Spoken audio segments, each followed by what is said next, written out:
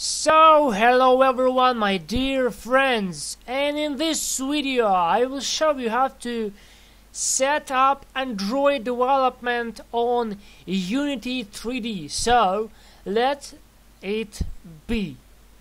First we have to do, we have to download Android SDK. In my case I downloaded Android SDK tools only zip archive. So um, I go to Google I type Android oh sorry about that. Android SDK enter. I go to this wonderful site and you see um, I had a very poor internet connection so I uh, use it I use it not this variant. I use it uh, this variant. Oh no no no this one this one. Android SDK Air uh, 22 uh, 6 2 Windows. So I have uh, Windows 7 32 bits. So I use it this. You can see this size uh, this is in megabytes. And this is in megabytes. So I used this one not this. So it was you know a way you know too you know big size for me. So yeah. Uh, so mm, then I uh, don't know I download that that stuff. I mean this zip archive. Then I uh, mm, then I download it and installed a Java uh, SDK so you know I installed uh, a Java SDK uh, 7 but there is already version number 8 so you can use uh, version number 8 you can test it uh, um, yeah this no no no no wait. Not this one it's not that what we are looking for. It's uh, this one. So this file it has uh, such name like you know um, JDK uh, so in my case I use version number 7 so it has 7 U this number Windows and your platform. In my case I have 32 bits so I use this. Uh, so and also there is a version number 8 you, you can use version number 8 so it's very easy to install Java Java SDK it's uh, its application it's not zip zip file so you don't have to use uh, WinRAR or WinZip. You have to just launch this application and make it work. So I use version number 7 so you can use version number 8 so mm, then uh, then you have to install your Android phone driver. So in my case I have Sony Xperia U ST25i so uh, I have uh, so this phone has its driver. So here we go. If you need this driver I can send this driver to you. So I have it. This one. This is my driver for my Android phone. Then uh, this is my plan. So then I install Unity Remote on my uh, mm, Android device, so you can see it uh, it uh, it here. It's it's working. Though this is Android, this is my Android device. It's not fake device. It's real device. It's connected to my computer now. It's uh, Android screen monitor. It's very useful application for uh, your for your development of your applications or games for your Android device.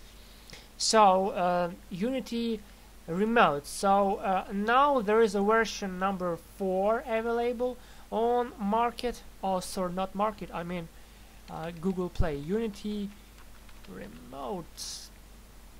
Uh, mm, yeah no not this one. It's it's old version it's Unity remote number one but we need uh, Unity remote number four. You can see it's old version it's old version so you have to click here.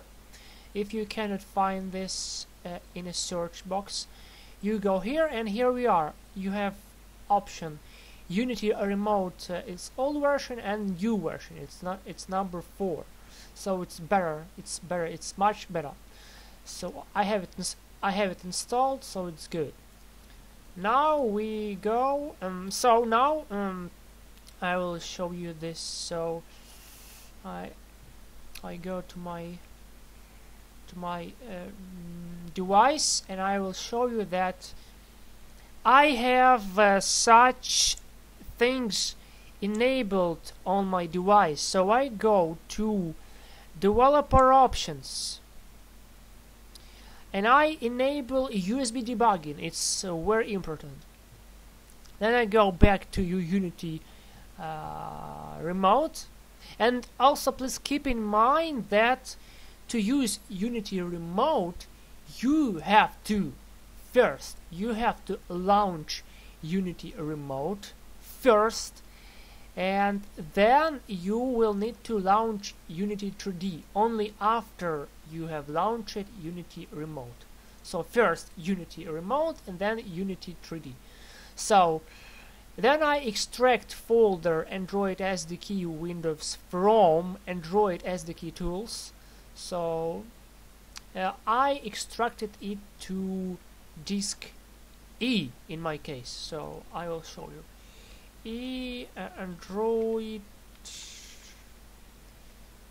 SDK Windows and this folder has such appearance. So also I have to warn you that uh, you know uh, it's very funny but uh, I installed uh, I installed uh, all the possible packages for Android SDK all the packages and it took me and it took 12 gigabytes. So I, I installed everything except uh, I mean I installed every package uh, except Android uh, 3.1 Google TV add-on because it's not uh, supported by uh, Windows. So you can install uh, this um, this packages very easy. You just need to go to your Android uh, need. Please after that you launch so you go to edit preferences external tools. Android SDK location. And you pick your folder where you extracted this Android SDK win in my case it's disk E then in Unity 3D you go to Edit Preferences, Project Settings, Editor, Unity Remote Device and choose uh, any Android device option. Then, then you press play button in Unity 3D and have experience in Unity Remote. So I will show you what I mean. So you can see here I have installed every package, every, so it took 20, 12 gigabytes to have all the packages installed. Yeah it's still it, it's still counting so anyway I will close that. So I will launch now Unity. Um, I mean not launch I will switch to U U Unity. Unity sorry about that. So you can see that this is the game I, I, have I have lights three light three three sources of light camera main camera and my hand and now I click and now I uh, mm, I click I press play button. And here we are. Come on, launch it for me. Okay now, and here we are. We have our hand on our Android device.